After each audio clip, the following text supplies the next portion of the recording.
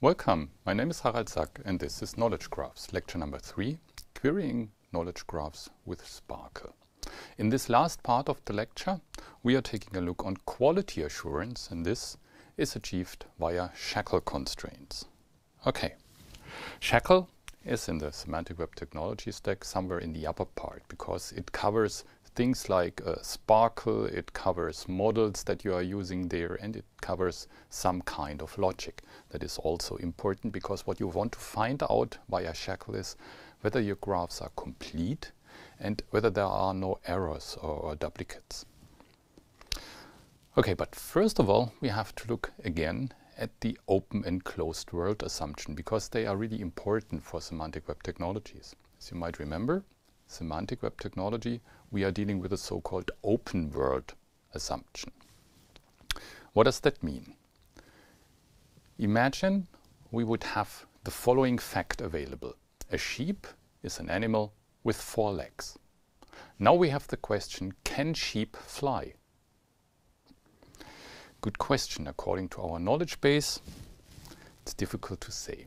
In the traditional world, of databases which follow the so-called closed world assumption, only the information that is given is valid. If information is missing, this is taken as false, which means if in our knowledge base there is not the fact given that sheep can fly, we assume sheep can't fly because it's not given there. This is the closed world assumption, meaning it's not open for any extension, so it's closed in what you see. However, under the open world assumption, it's quite the opposite. It's like in the real world. So we see here sheep are animals with four legs. However, can they fly? We have no idea because nobody told us. Probably they can. So according to our knowledge base, we have to say we have no idea, but probably yes. So potentially it's possible, unless somebody states the opposite. That's the open world assumption. That also is followed by all of the semantic web technology. So, in the open world assumption, unless we have a statement or we can infer that sheep can or cannot fly, we simply say we don't know. And in the real world, we are used to deal with this kind of incomplete information, don't we? Of course. So, in the semantic web, we expect people to extend our own models that we have created we don't worry in advance that everything is complete. So this is one of the main points. We simply design our structures, our knowledge representation according to our needs. And in case somebody else is reusing it, he or she is simply extending it according to their own needs. So it's open. The open world assumption assumes incomplete information by default. So this is the design principle. We underspecify things. So therefore, we can intentionally underspecify our models and allow others to reuse and extend.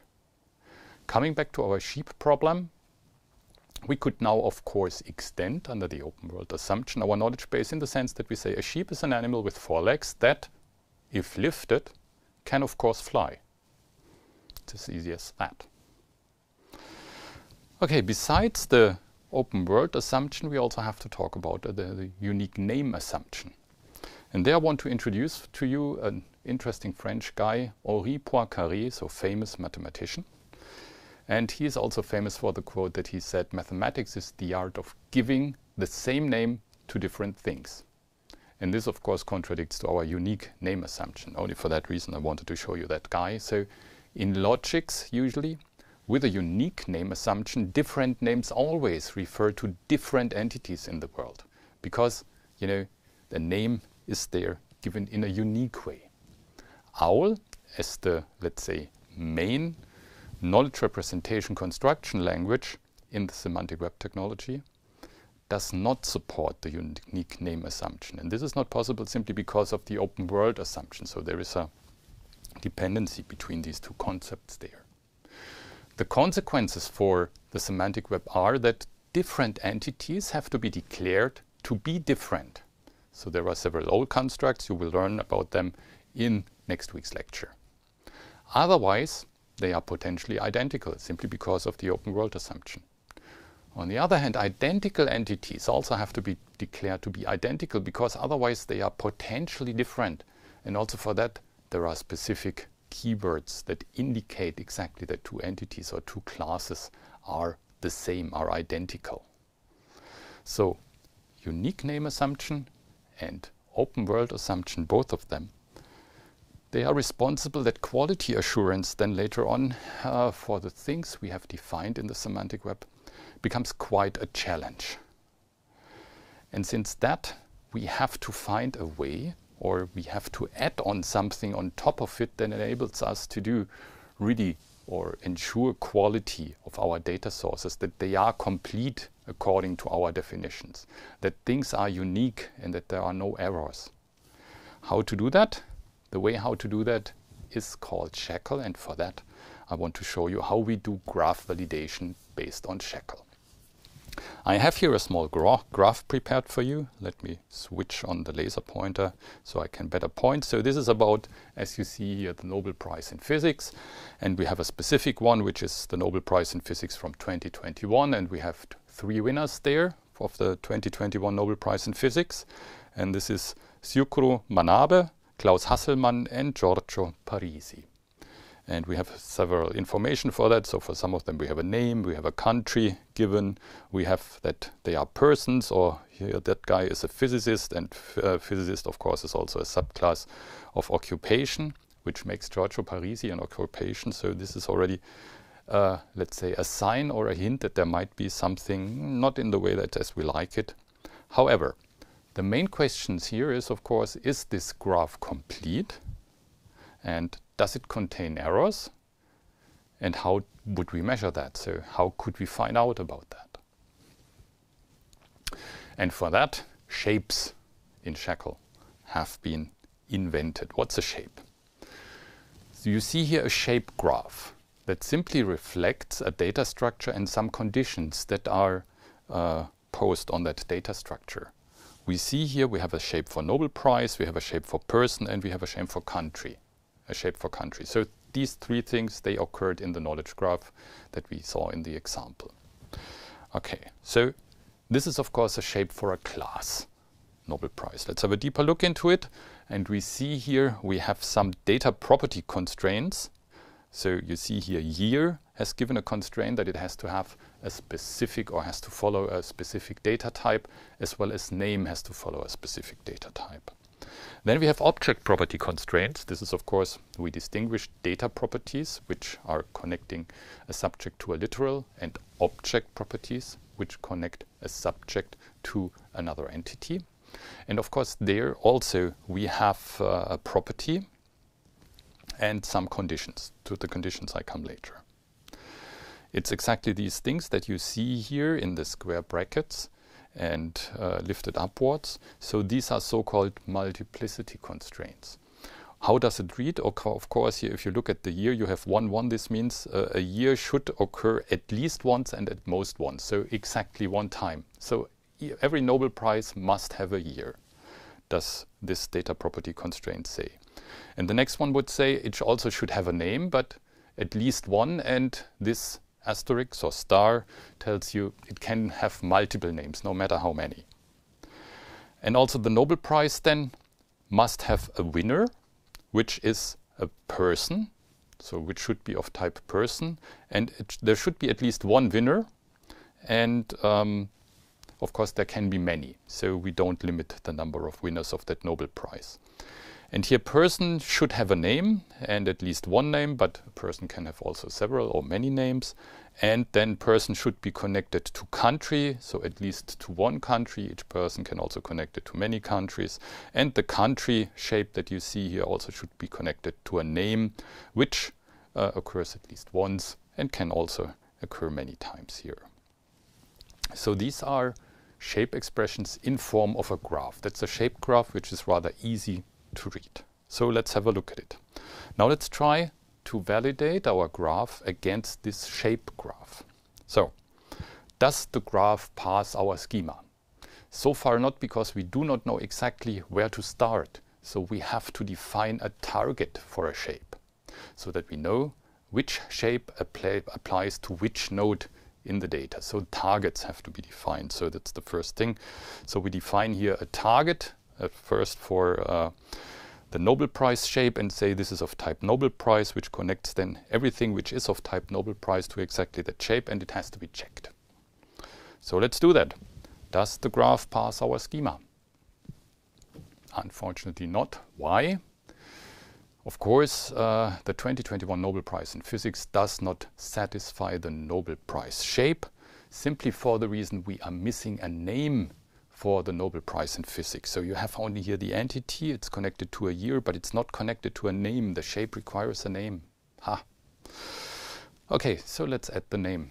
First thing we add here in green, you see here we have add, added a name which is simply the 2021 Nobel Prize in Physics given as a string.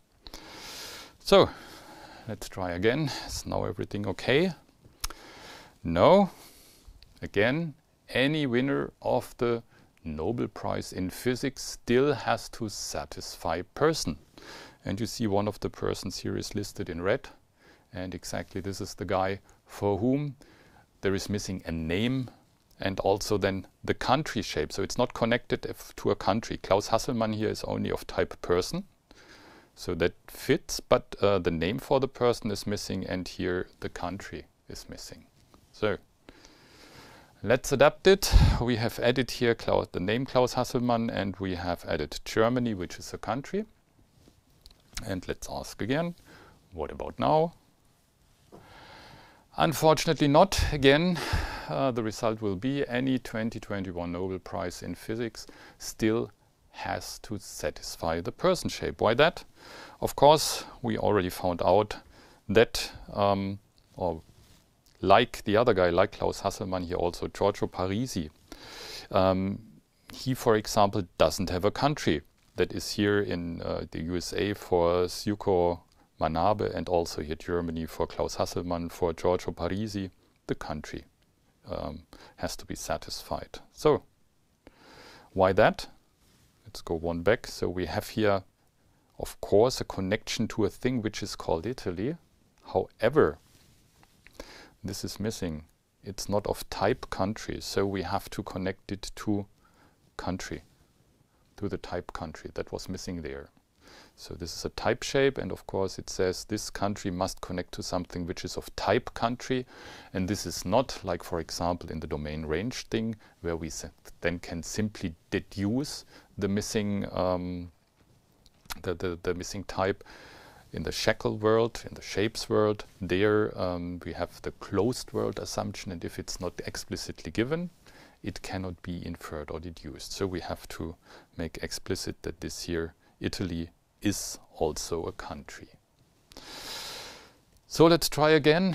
What about now? No, still any winner of the 2021 Nobel Prize in Physics still has to satisfy the person shape. So what is missing now? Yeah, what we said in the beginning, um, Giorgio Parisi um, has his occupation physicist, and um, as we see here, that's a, of course uh, a subclass of occupation, and what's missing is that the guy is a person. So let's simply then complement that here we have the type person given, and then we have a complete graph, because now if we test it, for the target Nobel Prize. So the Nobel Prize shape, everything here we have defined here has or is satisfied. However, for complete quality assurance of the entire graph, we have continued the validation then also for all other entities which are given there. So this is then a kind of recursive process where we then have to change the target. You could do this in OWL. I know we haven't talked about OWL, but the problem there is, you can read this then by next week, how, how this works. OWL follows the open world assumption and does not support the unique name assumption. Therefore, it will rather difficult to find out about the completeness because if it's not given complete, it still can be extended. So we can't ask for that. That doesn't raise an error flag. That's the problem there. And also if two things occur twice, it's not completely clear, if not stated explicitly, whether they are really the same or whether they are different. So therefore, these kind of testing on OWL structures, we try to do it here in that structure, but it's not the same. It's really difficult. Another way to do that, of course, I could handcraft also a kind of SPARQL query for a specific condition. And SPARQL provides the right semantics that you know you could find out whether these conditions that we have to check here are fulfilled or not, so whether they return a result or not. However, sometimes this is rather difficult to phrase. So have a look at the SPARQL query here. You should already be able to read it and uh, you will see it works. However, then you have to do this then also for, for all of the targets we have here and uh, that might become rather difficult and also rather difficult to test. Therefore, SHACL has been invented, which is the shape constraint language. So you have there possibilities to define your shapes, to declare your constraints, and to also declare specific rules uh, that these shapes should obey. And of course, there are also uh, SPARQL parts involved of it. And so this is a huge construct. If you're further interested in it, read the references we have linked here in the file. So then you will find out everything about SHACL. But what we will show you is how SHACL works for exactly our example that we had. So we want to do a node shape and property shapes for the shape graph we have here. And we start here with um, the node shape for the Nobel Prize. So please also note here that we have here um, the W3 uh, namespace for SHACL. So this is SH. That's a new one that we are using here. We have an own namespace S where we declare our example shapes. And of course, we also have here a default namespace. So let's see what we are doing here. We are declaring a Nobel Prize um, shape. We say this is a shape, a node shape. And we also define here directly the target class, which is Nobel Prize in a given schema. And then we define property shapes here. So SH property is a property shape. And then here in square brackets, you see here, we have to give a path. So uh, the property that we are looking for is name. And the data type that we want to constrain it for is here uh, a string.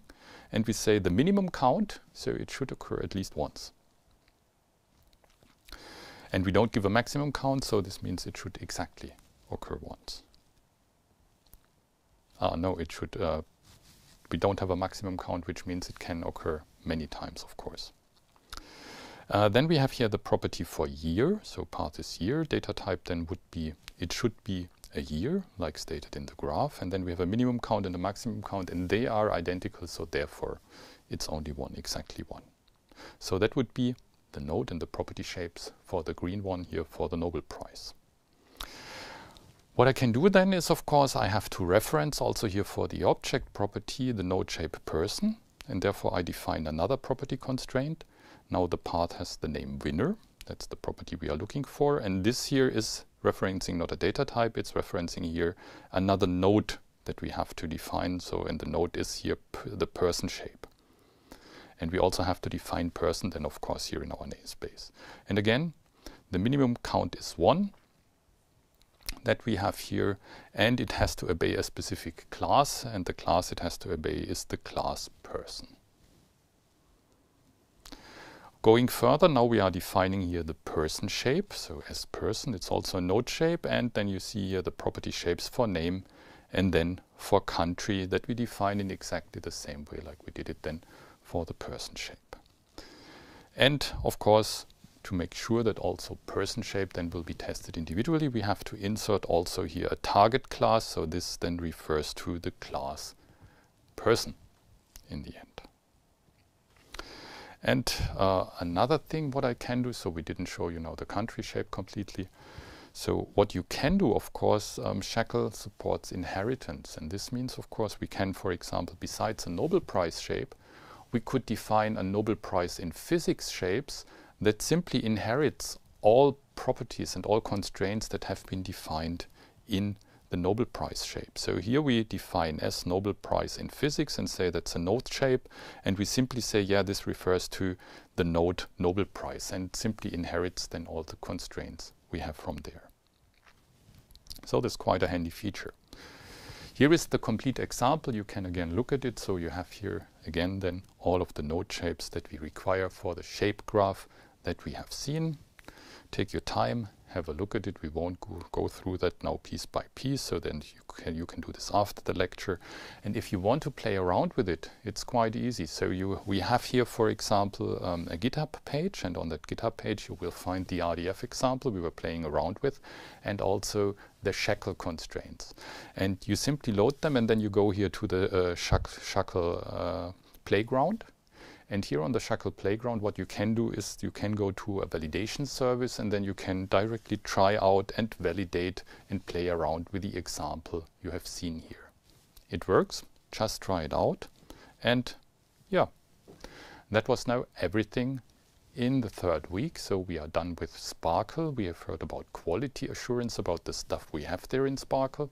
And in the next lecture, we will talk about ontologies as a key to knowledge representation.